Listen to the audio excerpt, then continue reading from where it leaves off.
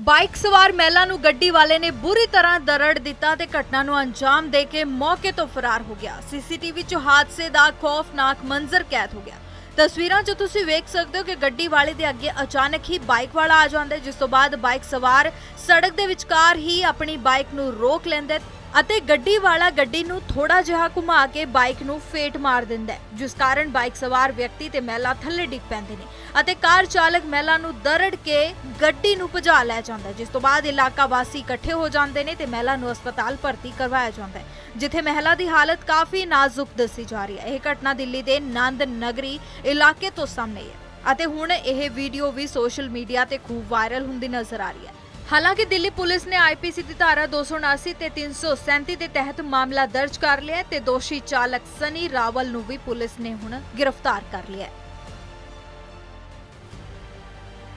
Bike ਸਵਾਰ ਮਹਿਲਾ ਨੂੰ ਗੱਡੀ ਵਾਲੇ ਨੇ ਬੁਰੀ ਤਰ੍ਹਾਂ ਦਰੜ ਦਿੱਤਾ ਤੇ ਘਟਨਾ ਨੂੰ ਅੰਜਾਮ ਦੇ ਕੇ ਮੌਕੇ ਤੋਂ ਫਰਾਰ ਹੋ ਗਿਆ। ਸੀਸੀਟੀਵੀ 'ਚ ਹਾਦਸੇ ਦਾ ਖੌਫਨਾਕ ਮੰਜ਼ਰ ਕੈਦ ਹੋ ਗਿਆ। ਤਸਵੀਰਾਂ 'ਚ ਤੁਸੀਂ ਵੇਖ ਸਕਦੇ ਹੋ ਕਿ ਗੱਡੀ ਵਾਲੇ ਦੇ ਅੱਗੇ ਅਚਾਨਕ ਹੀ ਬਾਈਕ ਵਾਲਾ ਆ ਜਾਂਦਾ ਹੈ, ਜਿਸ ਤੋਂ ਬਾਅਦ ਬਾਈਕ ਸਵਾਰ ਸੜਕ ਦੇ ਵਿਚਕਾਰ ਹੀ ਆਪਣੀ ਬਾਈਕ ਨੂੰ ਰੋਕ ਲੈਂਦਾ ਹੈ ਅਤੇ ਗੱਡੀ ਵਾਲਾ ਗੱਡੀ ਨੂੰ ਥੋੜਾ ਜਿਹਾ ਘੁਮਾ ਕੇ ਬਾਈਕ ਨੂੰ ਫੇਟ ਮਾਰ ਦਿੰਦਾ ਹੈ, ਜਿਸ ਕਾਰਨ ਬਾਈਕ ਸਵਾਰ ਵਿਅਕਤੀ ਤੇ ਮਹਿਲਾ ਥੱਲੇ ਡਿੱਗ ਪੈਂਦੇ ਨੇ ਅਤੇ ਕਾਰ ਚਾਲਕ ਮਹਿਲਾ ਨੂੰ ਦਰੜ ਕੇ ਗੱਡੀ ਨੂੰ ਭਜਾ ਲੈ ਜਾਂਦਾ ਜਿਸ ਤੋਂ ਬਾਅਦ ਇਲਾਕਾ ਵਾਸੀ ਇਕੱਠੇ ਹੋ ਜਾਂਦੇ ਨੇ ਤੇ ਮਹਿਲਾ ਨੂੰ ਹਸਪਤਾਲ ਭਰਤੀ ਕਰਵਾਇਆ ਜਾਂਦਾ ਹੈ। ਜਿੱਥੇ ਮਹਿਲਾ ਦੀ ਹਾਲਤ ਕਾਫੀ ਨਾਜ਼ੁਕ ਦੱਸੀ ਜਾ ਰਹੀ ਹੈ। ਇਹ ਘਟਨਾ ਦਿੱਲੀ ਦੇ ਨੰਦ ਨਗਰੀ ਇਲਾਕੇ ਤੋਂ ਸਾਹਮਣੇ ਹੈ ਅਤੇ ਹੁਣ ਇਹ ਵੀਡੀਓ ਵੀ ਸੋਸ਼ਲ ਮੀਡੀਆ ਤੇ ਖੂਬ ਵਾਇਰਲ ਹੁੰਦੀ ਨਜ਼ਰ ਆ ਰਹੀ ਹੈ। ਹਾਲਾਂਕਿ ਦਿੱਲੀ ਪੁਲਿਸ ਨੇ ਆਈਪੀਸੀ ਦੀ ਧਾਰਾ 279 ਤੇ 337 ਦੇ ਤਹਿਤ ਮਾਮਲਾ ਦਰਜ ਕਰ ਲਿਆ ਤੇ ਦੋਸ਼ੀ ਚਾਲਕ ਸਨੀ ਰਾਵਲ ਨੂੰ ਵੀ ਪੁਲਿਸ ਨੇ ਹੁਣ ਗ੍ਰਿਫਤਾਰ ਕਰ ਲਿਆ ਹੈ।